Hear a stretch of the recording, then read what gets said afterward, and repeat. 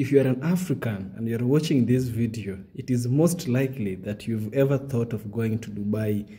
In this video, I'm going to show you a clip whereby after watching this, you will have double thoughts about going to Dubai and you'll never step foot again in Dubai. Let's dive into this video and see why. It is crude, ايوه بس هو مش بيعجبه جمالي هو بيحب النيجرز استغفر الله it is offensive, هو انا جايب البيت ده المزاجي ولا عشان احرف فيه عبيد and it's ugly. In the Arab world, racist depictions of black people are rampant, الشقه دي اتحرقت قبل كده ولا ايه؟ and the use of blackface is rife. Black people are routinely cast into subservience, playing servants, prostitutes, or they're shown as straight up objects of ridicule. Anti-blackness in Palestine. Hey guys, I'm coming to answer a frequently asked question that you asked in my last video about being black in Palestine, specifically if I experience any anti-blackness there. So some very quick background. Of course, I lived in six countries. Palestine is the fifth country I've ever lived in. I lived there for seven months as a teacher in the West Bank. Um, and overall, as a black woman, I can say that Palestine is by far the safest country I've ever lived in. I can touch upon this in another video. And people are the friendliest and the most open-minded I've ever um, met in any country that I've lived in. And so I'm going to tell you a little bit about that. Um, I can safely say that I was never scammed there, right? So if I ever bought groceries or things like that, you know, fish, whatever the case may be, I was never given like a higher price um, because it's obvious that I'm an outsider, right? And what usually happens is that people think that you have more money um, and that, you know, that causes them to raise the price for you. But I paid what the Palestinian person paid. Um, and very often they would give me like a little bit extra as well, I think, you know, just to be nice. Also, whenever I went clothes shopping, I was also given the price on the tag. Sometimes I would even get a discount as well. And shopping there is actually quite great. I got the best jeans of my life there and um, some coats I can show another video as well. Um, people just always gave a deal. Like, you know, it, they didn't scam me. I was never followed there. I was never harassed there by men, never catcalled or anything like that. Um, I never felt unsafe, you know, whenever I, you know, walked into an, an alley or something like that. Um, another thing is, you know, me being an outsider, clearly, um, people would engage me in conversation all the time, asking me where I was from. Um, and then just from that conversation, I was asked to come to their house to, uh, to have dinner a lot, a lot. Um, and I actually have footage of a dinner, Palestinian din dinner that I went to that I can also make another video about, of course. Um, and overall, to be honest, there were no issues. When I initially went there, I was told that I had to dress modestly, you know, cover up tattoos and things like that. But after a while, I learned that there are a lot of people there who wear jeans, who, who dress in a very modern, casual way. Um, and so I started doing the same, showing my tattoos. I even wore a crop top at one point where my stomach was showing. And maybe I would get one or two glances, but nothing ever happened to me. Nothing negative. No one ever yelled at me on the street. I have not, I did not have one negative experience with a Palestinian person ever during my entire seven months in Nablus. I have a lot of wholesome stories that I can tell, of course, make other videos on. But I I also knew, you know, a few words in Arabic that were derogative for black people. I never heard any of them ever, ever. I have nothing bad to say about Palestinian people and how they treated me as a black woman ever during my entire time there. I'm a firm believer in if somebody is speaking about their personal experience, right? For example, if I'm talking about a, something I experienced as a black woman and you are not black and you can't contribute to the conversation in a productive manner, just listen. It's okay to just listen. So I recently made a video about um three exp- three racist experiences I had in Dubai the second time I was there, right? After having a great time the first time, right? I never said in that video, do not go to Dubai. I never said Dubai was a racist place, actually. I was just sharing my experience as a black woman, right? I'm seeing non black people explaining to me as a black woman that the racism I experienced is not possible because they've lived in Dubai since since before Jesus Christ was born and they've never seen anything like that before. So I'm wrong. Dubai they're Dubai, they're Dubai, they're Dubai. It's the most inclusive place in the world. So I, I must have made it up. I'm Ghanaian, right? I don't think Ghana is a racist place. If you came to Ghana and experienced racism, though, in no way, shape, or form would I ever tell you, oh no, that can't be possible. Ghana, my Ghana, my Ghana, my Ghana. No, because I don't have control over everyone in Ghana. Anyone can do whatever they want, including be a racist. Turning now to a practice, a problematic, anachronistic one that keeps cropping up in modern media blackface. White or light skinned people caricaturing those of African descent by darkening their faces with theatrical makeup. It's a supposed entertainment device from a bygone era. And while across much of the Western world it no longer features in mainstream art or entertainment, in the Middle East, you don't have to go back in time to find this stuff. Blackface and caricatured depictions of black people still go out on the air, and in most cases, they are not even seen as offensive, particularly in Egypt, which is home to a sizable Nubian minority. There are so many, way too many things that they aren't saying about Saudi Arabia. Um, I've moved here now. I joined my husband um, about three months ago. I'm Nigerian, I'm African by blood, by ancestry, by everything.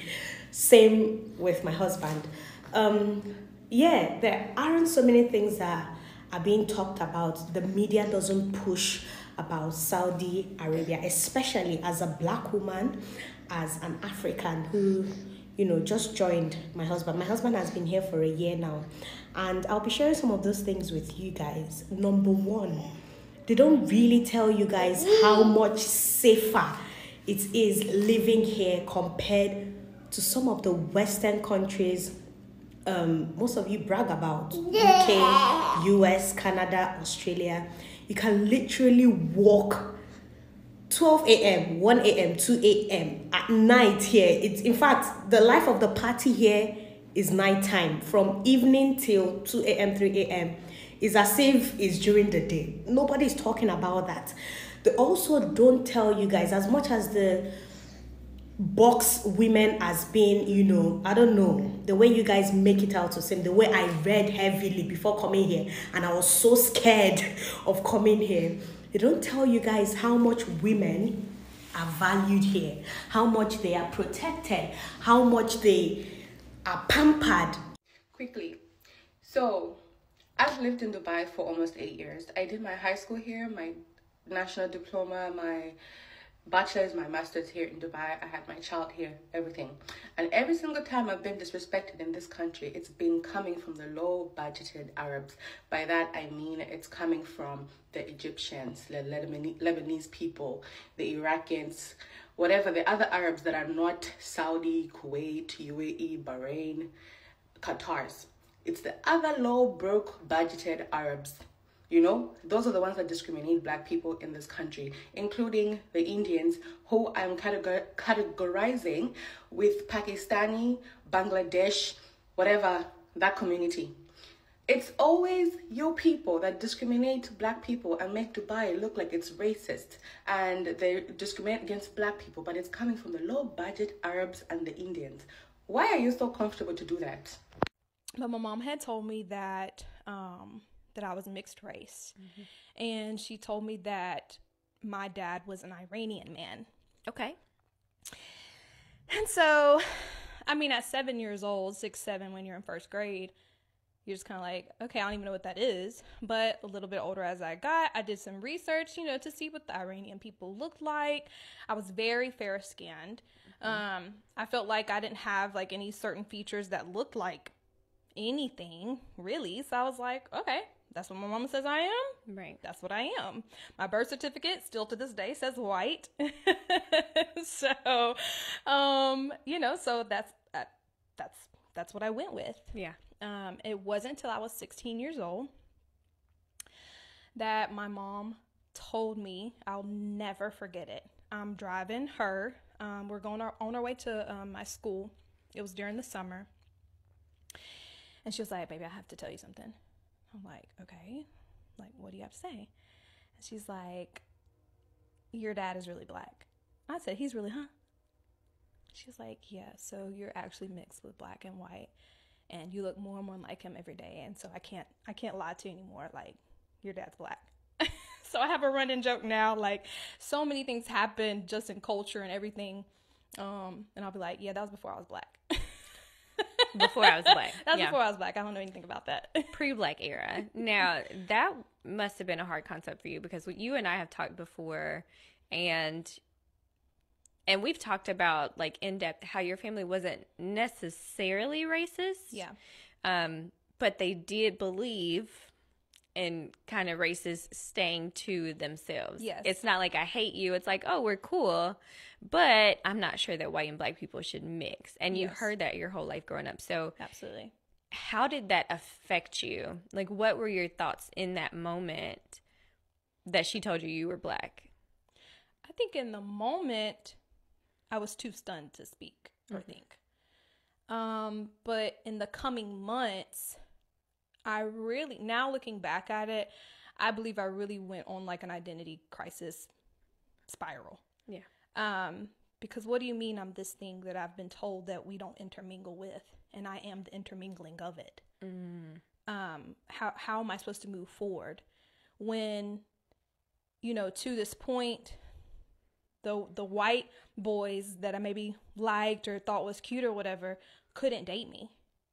And the black guys that I was kind of feeling like maybe were cute because you know it was pretty much those only were their only races really where I grew up. You know it wasn't a a huge diverse you know place, but it was like they're kind of feeling me, but I don't I didn't think I could be with them. Mm. You know, so I was really in this Because weird- y'all didn't because I wasn't with black supposed to intermingle. Yeah. Um, and so finding this out, I was like, oh, well, I can date black guys now. and I went off the deep end. Like I I'm feeling talkative today, but I just came across a TikTok that said some Arabs are more racist than white people. And, like, yeah, let's talk about that. Let's talk about how my aunt called me Shirley when I went to Lebanon. Let's talk about how they tell me to stay out of the sun because I'm already too dark. Let's talk about how I want my best friend to come with me to Lebanon, but I'd rather spare her a terrible experience. Let's talk about how if I fell in love with a black guy and married him, how hard that would be for me, how hard it would be for him, how many hurdles we would both have to jump through, how I really wouldn't want him around my extended family because I wouldn't feel comfortable and he wouldn't feel comfortable. It's it's really gross. Maybe we should start taking some accountability and stop denying it. Black Egyptians who originate from the southern end of the country or from northern Sudan. The listening post's Tariq Nafi now on the persisting, troubling use of blackface and the stain that leaves on media outlets in the Arab world. Hello, Africans. I hope where you are, you're doing fine. And um, if you're not doing fine, please do fine. It's it's always good to be fine. It's never good to be unfine or to be unhappy. Yeah. Now today, let's go all the way to Dubai, the United Arab Emirates. Yeah, Dubai is the capital city of the Arab people, the Muslims, the Arabs. You know, by the way, each year Muslims all over the world walk, or sometimes they take um, camels, or sometimes they take airplanes, and they go all the way to Mecca. Mecca is a city in um, Saudi Arabia where we have uh, a place. There's this thing where uh, Muslims go over there and uh, they worship. Each year, yeah, there's a pilgrimage all over the world to Mecca. And sometimes many people die along the way. Yeah, sometimes it's tough, but you know, if there is people who protect their faith, it's the Muslims. And I respect them for that. Yeah. Now, speaking about Dubai, there is something about Africans and um, the Arab people and the Arab countries. We understand that, that the Arab countries are very rich. They are rich in minerals, and this has made them to be the most rich people. You understand? Uh, Arabs have money. These guys have money. You see, the tallest buildings are found in Dub- are found in the Arab countries. The Burj Khalifa is the tallest building in the world, and it took billions of money to construct that. It was built uh, by an Arab emir over there. So many uh, Kenyans have sought to go over there and work. They've sought to go there and work because uh, the Arabs are really paying well and uh, they love this. They really love this. You understand? So Africans are going over there because they don't have a way of um, making things meet uh, back here in the country. I understand if I were in that position, I would have thought, actually, I once thought of going to Dubai myself uh, to go and work there. There were times I was facing lots of difficulties. I normally thank God I didn't go to Dubai. And here is why. Many people, many Africans, let me use Kenya, have, uh, have succumbed to difficult situations. Many have even succumbed to death in the hands of these Arab people. You know, Arab people, some of them are not so good to black people. As you understand, our, uh, Kenyans, uh, Africans, and any other black person, we are not liked all over the world. If there is somebody who is a, a common enemy, it's always the black person. The black person is a common enemy, and uh, we can't agree less. You understand? Now, there is this concept about uh, racism and slavery. Let's put away slavery. Let's deal with racism. Many people, if we talk about racism, we always think of the West, many people that is. But I tell you this the Arabs, some of them are also racist towards black people as well. Black people are always going there, but they keep their eyes closed to the racism. Some are able to tell the stories of their racist uh, encounters in those countries. Some keep quiet. Like the video I'm about to show you is a video of a Muslim girl, uh, an Arab girl actually, uh, who is telling her story uh, based on her experience with her own people. You know, she's an insider and she's giving an inside job, an inside secret.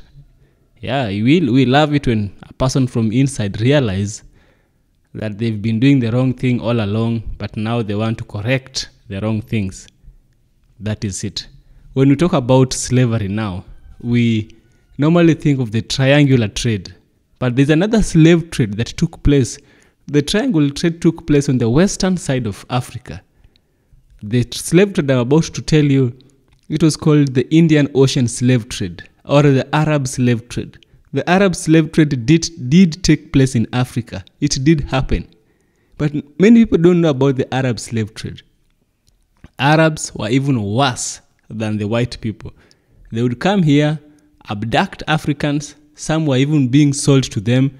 They were taken all the way to Oman. Oman is a country in the in the Gulf. It's an it's it's a it's, it's an Arab country.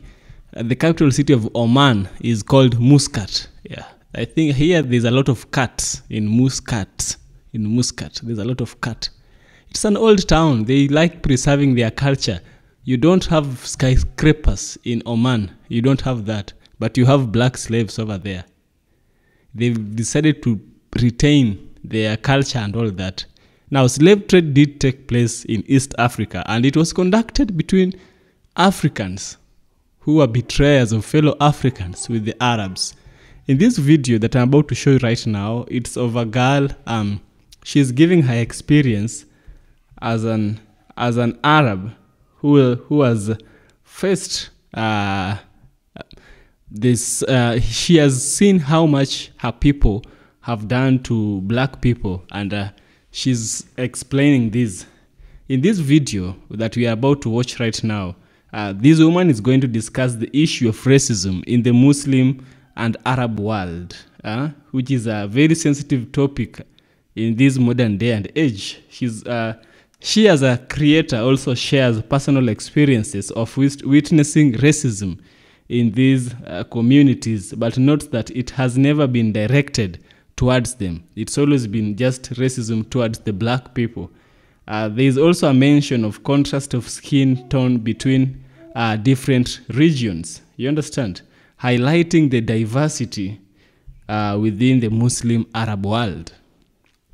Now, the video is also referencing the historical uh, figures like the Prophet Muhammad's companion Bilal, uh, who, was who was a freed slave and called to prayer to discuss attitudes towards race in uh, Islam. It's good that Islam do not accept the issue of tra- issue of racism because uh, from this video the woman is explaining that even their own prophet Muhammad married a freed slave. So racism is not a part of Islamic culture. I love that. Now, the creator also emphasizes the importance of addressing racism and speaking up against it, and if it may be comfortable or challenging, she is advising that the point be taken home. Sometimes truth is hard to take, but maybe that is what we have, and we should take it as it is. Yeah. So without further ado, let's jump into this video, get to see what the sister has to share, and then we shall do a critical analysis based on this video.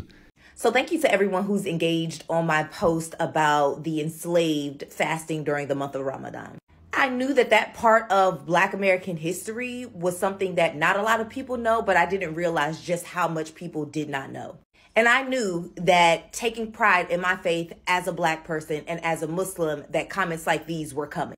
I knew that that post celebrating my ancestral hold onto the faith of Islam that I still practice to this day was going to cause people to talk about something that has nothing to do with what it is that I was talking about. And I want people to understand that when they say these things about Islam and about Christianity, that the only way that African people or black people came about those faiths was through forced conversion, that that is historically inaccurate. And so because y'all love my dad and I'm trying to get him over here on TikTok, I'm going to have him break it down for you. Okay, let's give it a try. Three minutes. There, for for the record, there are three kinds of Arabs. There's one, the original Arab. They were commonly what you would call black. They are the descendants of Noah, the descendants of Ham, the descendants of Cush. They're called Cushites. They lived in the southern area of the peninsula, connected to them, and the kingdom of Cush, which extended in through, was commonly known today as Ethiopia. So you had the southern part of the Arabian Peninsula and Ethiopia, where the Cushites reigned. They were the original Arabs. Secondly, there's the people who married into that particular grouping, that particular tribe, etc. They then become Arabs. Third, last but not least, or probably least, are what we is now your modern Arab, your modern, what I would refer to as Euro Arab all right? Because these are the people who, with the advent of Islam, began to come to the peninsula to meet the Prophet to find out about this Islam, or these are people who resisted the Islam and fought against the Muslims and were conquered, were beaten, but they came out of places like Rome, Byzantium, uh, uh, Persia, uh, uh, uh Turkey, things like that. So they were eventually uh, subdued. Now, keep in mind the places I'm talking about, because I haven't mentioned Africa yet. But I will, because the Muslims go into Africa. They go into Africa, and who do they meet there to, to and, and engage? Because historians will tell you, some of them will, uh, Euro hist- historians will say they invaded Africa. They didn't invade Africa. What they did was they liberated the black people in Africa from the Europeans who were controlling it. When I say Europeans, I'm talking about your Romans, etc., your Romans and your Byzantines. They controlled Egypt from 100 years after Jesus Christ until they were kicked out by the Muslims in 634. The Muslims who went into there were black. The vast majority of them were what you would call black. And they were black Arabs. They were your Cushites. They moved the Europeans out of Africa. All right? These are the same uh, Arabs, black Arabs, who moved by 711 into Europe and controlled Europe for 800 years. They're commonly referred in history today as the Moors. All right? So there's part of your history. Last but not least, I'm trying to do this in three minutes. If someone is telling you that black people or that, that black people were forced into Islam, that Africans were forced into Islam, the history is that these Euro Arabs who ushered into a slave trade that was that predates European slave trade by almost 600 to 800 years. They passed laws to make sure that Africans, so-called black people, could not convert to Islam. They were in total opposite with the original black Arabs who during the time of the prophet were in control of the Islam. So it went from being pro-black to anti-black by virtue of the same people who had gotten kicked out by these black people who had been in uh, under the heel of black people since the ancient Egyptians, since the ancient uh, ancient Cushites, since the ancient since Hannibal, since the ancient times. So all they were doing was putting their hatred into their Islam, onto the Islam. Because think about it. You pass a law so that the people could not convert because you want to keep them as slaves. If you convert them by the sword, then they become Muslims. And therefore, you can't keep them in slavery and you have to treat them like your brother. So, what would be the purpose of converting them? You would eliminate your slavery. And only people who think as a way of absolving the European conquest of the world and their savagery ask you that question. It's called whataboutism. It's what white people do all the time. When you hear a black person do it, that's just a white thinking black person. It's that's you know that's what blackface was all about. So Now, you know, it's very important and it's very profound that this a Muslim girl, she's an Arab, and she's able to explain her experiences as an insider about the injustices she sees happening. Now, now, now, wait. Let me correct one thing. Not all Arabs are Muslims, and not all Muslims are Arabs. You understand? We understand that uh, Muslim or the Islam uh, religion uh, was rooted from Arab, but not all Arabs are Muslims. We have Arabs who are Christians as well. I have seen for myself. And also, we have Muslims who are not Arabs. We have Africans who are Muslims. Now, despite uh, being an Arab or being a Muslim, racism is being faced by black people. Whether you are a Muslim or not, you will have to face this racism. And this woman, she's explaining racism on the perspective of religion and on the perspective of uh, being uh, ashamed, being prejudiced, facing discrimination against uh, him or herself uh, from the Islamic culture and the Arab people as well. Now, it's good that you keep the difference between two. Not all Arabs are Muslims, not all Muslims are Arabs. And I think that we should go to the root of this problem of racism. We should find the root because there's always a reason for everything to happen a good reason and the true reason. Now, here's what we can discover about um, the problem. It's always good to find the source. Here at EFK, we find sources to problems we see happening around. Let's have a glimpse, a glimpse of the slave trade that happened in the East African coast between the Africans and the Arabs. The history of Arab slave in the East African coast is a complex and often overlooked. Uh, it's an overlooked chapter in the history, on the broader history of the transatlantic slave trade. We don't mention that. We always forget it. So it's overshadowed. First thing is the origin and the context of the Arab slave trade. Over several centuries, countless East African East Africans were sold as slaves by Muslim Arabs. This trade route connected East Africa to the Middle East and other regions via the Sahara Desert and the Indian Ocean. Now, there was also another route, another trade that was taking place within the Sahara. It was called the Trans-Sahara Trade Route. The Trans-Sahara Trade Route, the main commodity was salt. Apart from salt, another commodity was slaves. It's like people were people loved selling themselves. Or people loved selling people, not selling themselves. People loved selling people for money in the days of the past. I'm glad that we are living in the days that it's against the constitution all over the world, not just one place. It's objectively wrong today. Now, the practice of selling African slaves by the Arab traders dates back to antiquity, but gained prominence in the 17th century when Islam was spreading in North Africa. This was, a long, this was long before Europeans explored the continent, or West Africans were forcibly taken across the Atlantic to the Americas. We can learn that the slave trade of the Arabs is even older than the transatlantic slave trade. We only know about the transatlantic slave trade because it's what we get in the mainstream media. Now, there's a special country, or rather an island. It's not really a country, but it's part of a country. Zanzibar. Zanzibar is an island in Tanzania. Zanzibar, an, uh, an island that is now part of Tanzania, played a central role in this trade. It was considered the hub of the East African slave trade. And by the way, there was this um, a head of Muslims. His name was Sultan. Uh, there's one particular Sultan whose name was uh, Sayyid Said. Uh, he's the one who brought Arabs to Zanzibar. The Arabs we have in Zanzibar are the descendants of Sayyid Said and his crew. Remember that uh, Sayyid Said located, he migrated from Muscat and he went all the way to Muscat to Zanzibar because apart from trading humans, he also he was also finding for an arable piece of land where he could uh, practice his agriculture.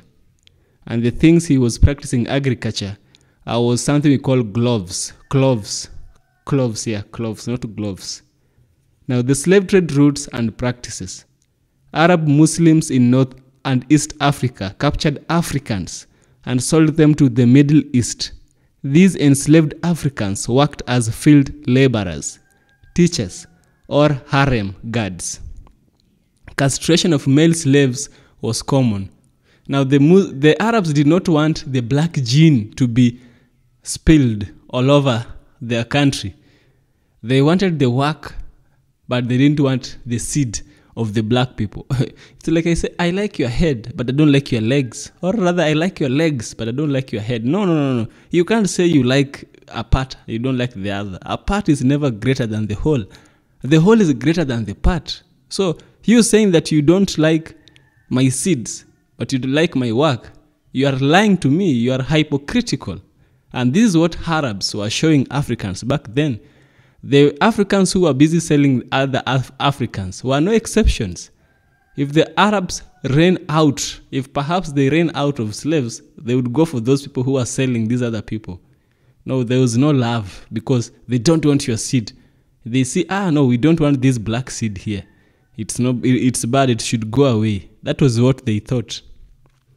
Otherwise, why would they castrate Africans? Tell me why and it's, it is believed that it was common. I did a video on that actually. So interestingly, Islam's Islamic uh, legal views prohibited the enslavement of Muslims, including African Muslims. However, this did not prevent the widespread enslavement of non-Muslim Africans. Remember, by the uh, beginning of the video, I told you that um, Prophet Muhammad married a woman whose name was Bilal. Bilal was an was a freed slave. He might she might be an African. She might have been an African and she was because she was a freed slave and my research says that these slave traders who were Arabs captured African non-slave Africans who were non-Muslims and they made them slaves. Before that, they even made Africans who were Muslims slave trade. That was until the Islamic religion openly rebuked it. You understand? So Muhammad marrying Bilal was a sign that slave trade has no part in the Islamic religion. I think slavery has no part meant enslavement of Muslims, but not the enslavement of non-Muslim. It might have meant that. Let me put it right.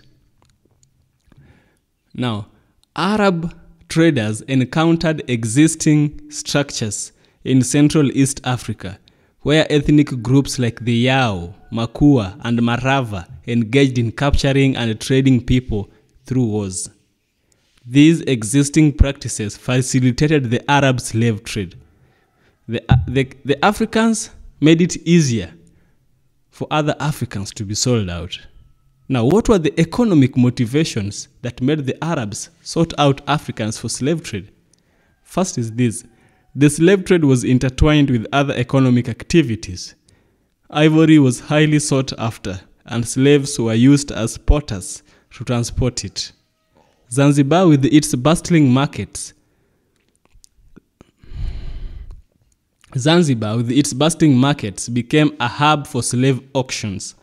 Arab Muslims sought slaves for various purposes, including working on clove farms, cloves being another valuable commodity. Remember, I told you about Said Said. He moved from Muscat to Zanzibar and he was moving there for the climate in Zanzibar was uh, was good. It was not as hot as the one you have in in in the Arab nations.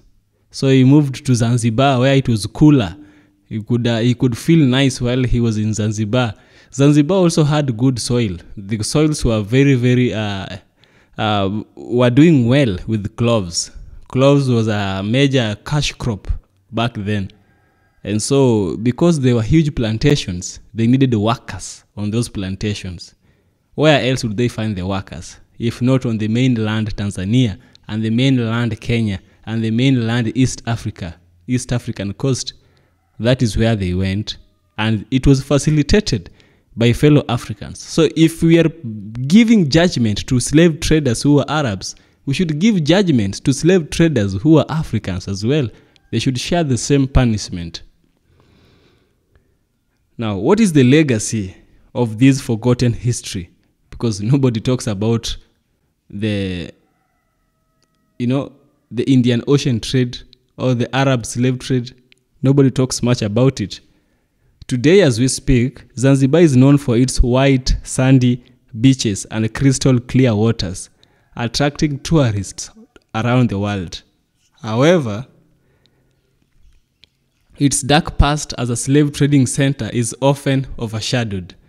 Another thing is that while the transatlantic slave trade on the west coast of Africa is more widely uh, discussed, the activities of Arab slavers on the East African seaboard persisted for several decades, longer until they were officially outlawed. It still happened until the government after government after government came and said, no, uh, let's put an end to this. Let's introduce a new thing. The new thing we are going to introduce is called colonialism. So slavery paved the way for colonialism. Still a form of slavery, if you ask me. In summary, the Arab slave trade uh, in East Africa left a lasting impact on the region's history, culture, and demographics. It's essential to acknowledge this forgotten chapter and learn from it. If you'd like more about and to learn from it, if you'd like to understand why Africans are still going to the place where people are enslaving their ancestors, it's because of finding a better opportunity in life. That's the only reason. Otherwise, people would not go back there. People would really not go there because many Africans are done very bad things by those Arabs. It's it's it's not a good face. It's a really bad shape. Uh, it's it's really not good what's happening over there. So people should learn from history. I always say learn from history. Don't repeat history. Repeating history might be catastrophic. Always learn from history itself. Yeah.